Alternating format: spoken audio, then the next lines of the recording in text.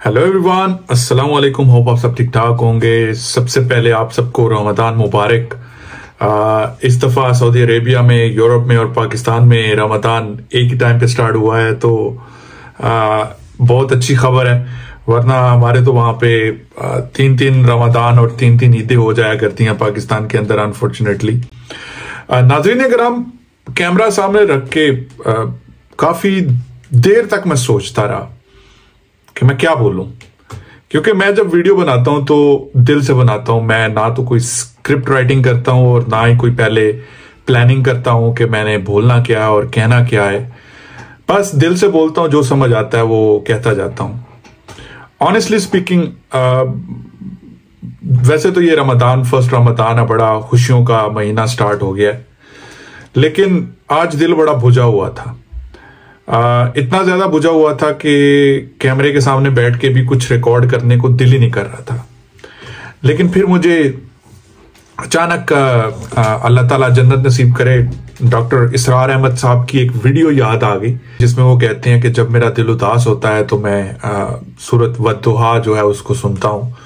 और कोई भी मुसलमान जिसका दिल उदास हो और उसको समझना कुछ आ रही हो तो उसको ये सूरत सुननी चाहिए ट्रांसलेशन के साथ पढ़ना भी चाहिए। ये वो सूरत है जब हजूसल्लम पे कुछ अरसे के लिए वही आना बंद हो गई थी और हजूसल्लम काफ़ी परेशान हो गए थे। तो बड़ी प्यारी सूरत है। आप कभी बहुत सारे मुसलमानों ने तो वैसे ये जुबानी याद की होगी। लेकिन अगर मेरे कोई दूसरे भाई बहन जो मुसलमान नहीं भी हैं तो वो ये गूगल करके ये सूरत सुन सकते हैं इसको ट्रांसलेशन इसकी पढ़ सकते हैं। बड़ी खूबसूरत सूरत है। तो अभी मैंने वो सूरत थोड़ी देर पहले सुनी दो तीन दफ़ा सुनी एक बड़ी प्यारी आवाज़ के अंदर सुनी। तो मेरे दिल को थोड़ा सा सुकून आया और आ, मैंने कैमरे का बटन ऑन कर दिया। मैंने कहा चलें जी अब यहाँ से स्टार्ट करते हैं। जनाबे वाला तमहीद बांधने की ज़रूरत नहीं है। पॉलिटिकल सिनेरियो सबके सामने है। पंजाब गवर्नमेंट इलेक्शन करवाने के मूड में बिल्कुल नहीं है। पंजाब गवर्नमेंट क्या हुकूमत ही इलेक्शन करवाने के मूड में नहीं है? हमने तो पहले कह दिया था ये। बहुत देर पहले कह दिया था कि इमरान साहब पता नहीं किस गलती, इमरान खान साहब पता नहीं किस गलत फहमी के अंदर घूम रहे हैं कि ये इलेक्शन करवा देंगे। मैंने उस टाइम पे कह दिया था ये इलेक्शन कभी नहीं होंगे। बार कैफ देखते हैं कि अब अगर ये सुप्रीम कोर्ट की तरफ़ जाते हैं तो क्या होता है।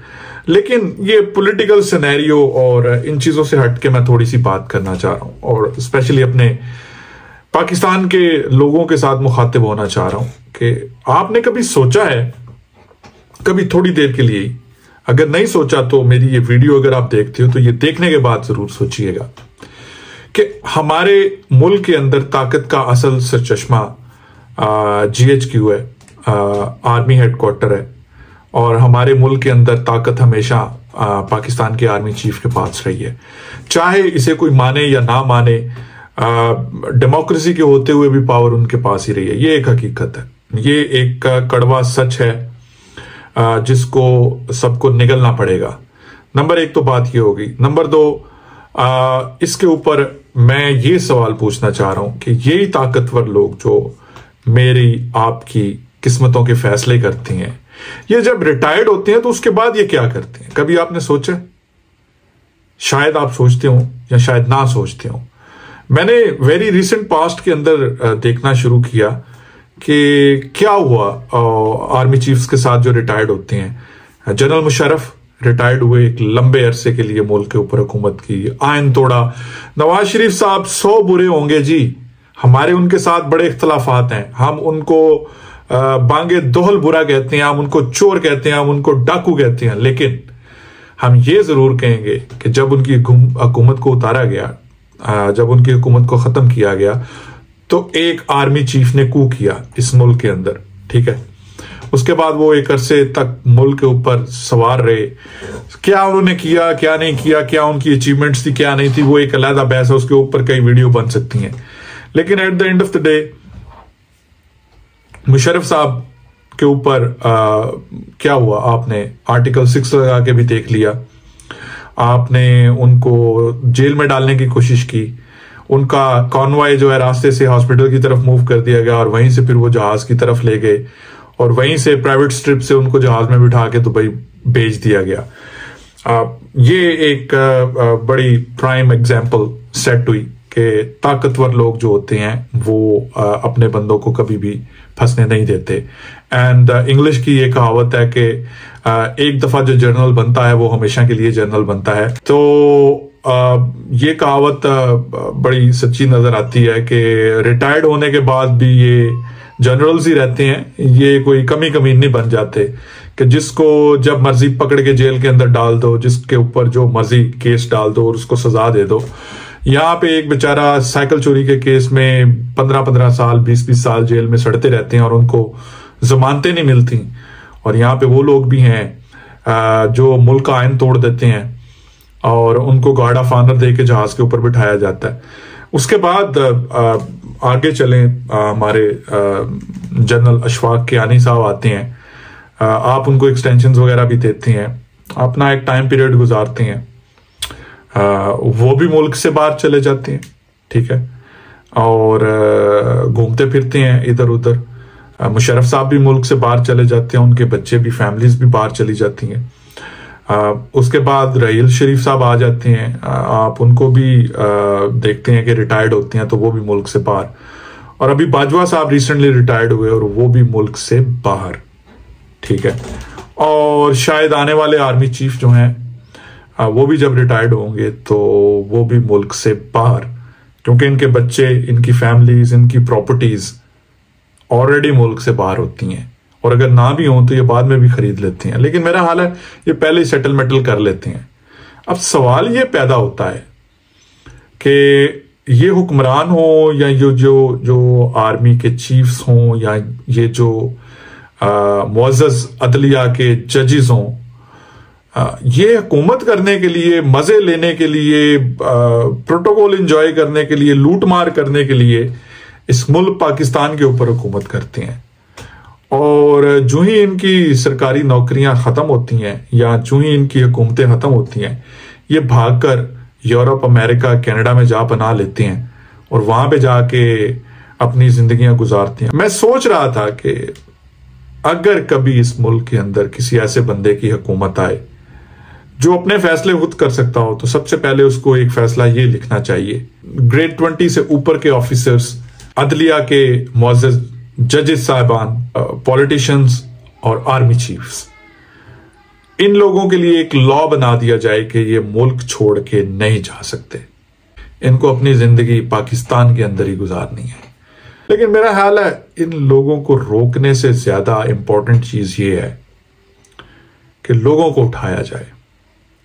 उन लोगों को जिनके ऊपर ये हुक्मरानियाँ करते हैं, जिनके ऊपर ये अयाशियाँ करते हैं।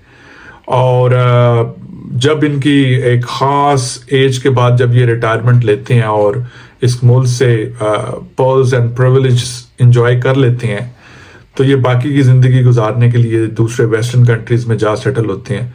और ये गरीब आवाम जिनकी मुकदरों के, जिनकी किस्मतों के फैसले ये करते हैं, ये यहीं पर रुलते खुलते रहते हैं।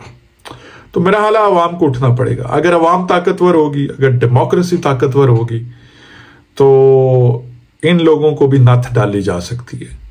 लेकिन अगर डेमोक्रेसी ताकतवर नहीं है, और अगर अवाम पॉलिटिकल लीडर्स के पीछे खड़ी नहीं है तो इनको कोई नहीं रोक सकता।